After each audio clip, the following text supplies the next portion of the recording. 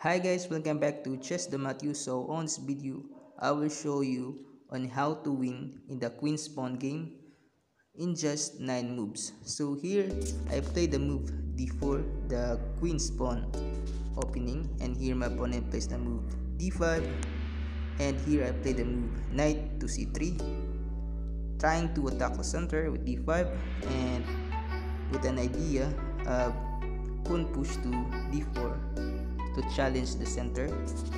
And here my opponent plays the move knight to f6 defending both the square of e4 and the e5 pawn. But here still it doesn't bother to my idea and I play the third move of e4. So we shall see on this position that it has only one defender versus the two attackers. So here the white immediately grab that pawn and win the pawn on e4. But here I tried to regain some of my defensive pawn with the move f3. So after takes and queen takes f3, we shall see on this position that after queen takes d4, the black now is a top on up on this position.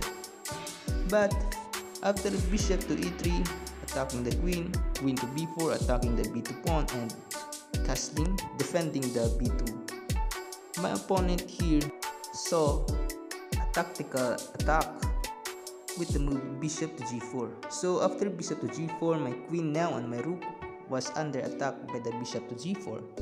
So I think here too much time and I saw that I can still play the move knight to b5 trying to give a check and fork his king and rook and for example after bishop takes here I can also grab that bishop but here after bishop takes f3 and I give a check first but after knight takes c7 it is already now a checkmate because the knight cannot be captured and the king can no longer escape to the check and he cannot capture the cheating pieces so it is already now a checkmate.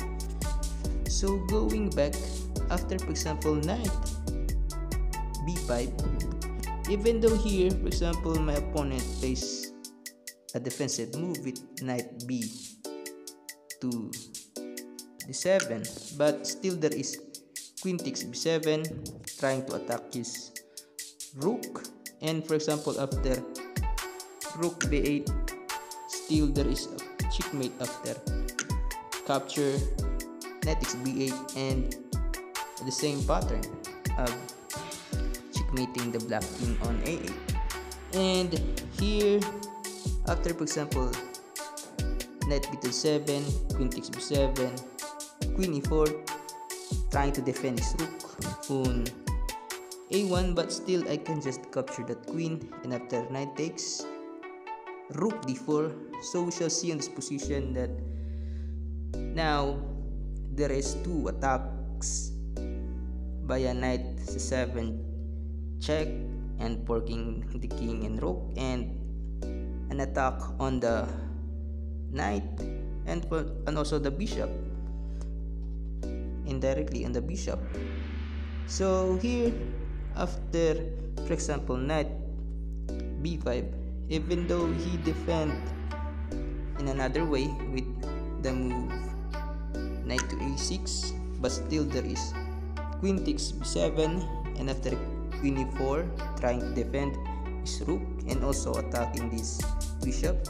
But after a capture and a capture giving check king b1 and after the move queen to c5 because there is a threat of knight to fork the king and rook.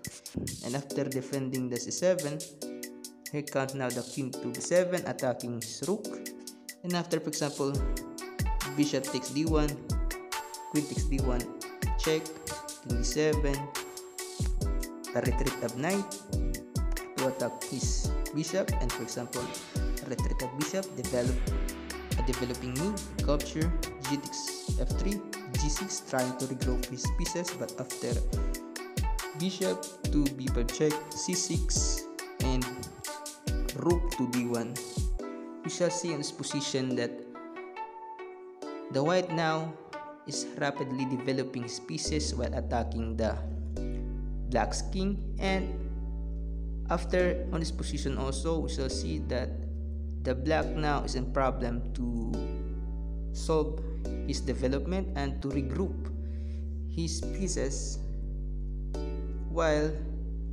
his king was on the verge of attack of white. So just a recap. After the move d4, d5, I win here in just 9 moves after 1, 2, 3, 4, 5, 6, 7, 8, 9. So I hope you enjoyed this video and please don't forget to subscribe.